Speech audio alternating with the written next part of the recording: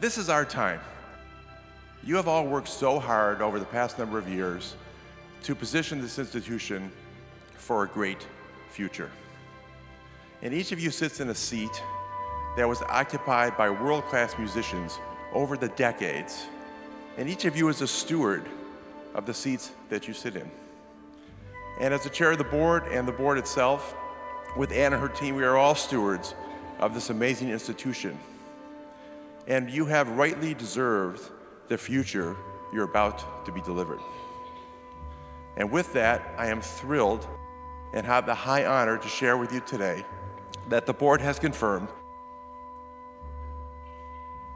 Jader Bignamini as our next maestro.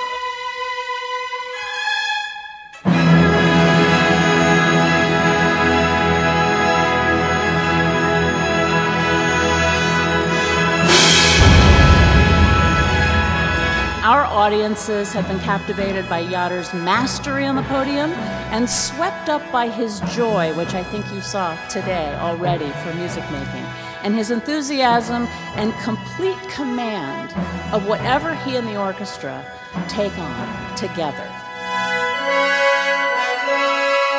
Uh, and to salute all of you on stage, my colleagues who really uh, contributed to this effort.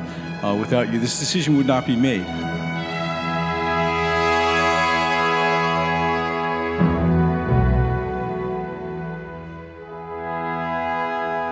He has discipline.